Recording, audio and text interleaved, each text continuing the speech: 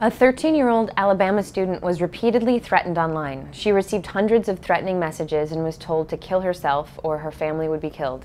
She was sent a picture of a gun. Cyberbullying is beginning to be a bigger problem in schools than physical bullying. Hi, I'm Taylor Schilling. Stomp Out Bullying, the national leading bullying and cyberbullying prevention organization for kids and teens in the U.S., has an initiative that empowers students and gives them a voice to end bullying.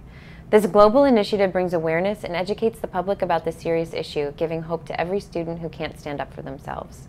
Please join me on the first Monday of October, this year, October 5th, and wear a blue shirt for Blue Shirt Day, World Day of Bullying Prevention.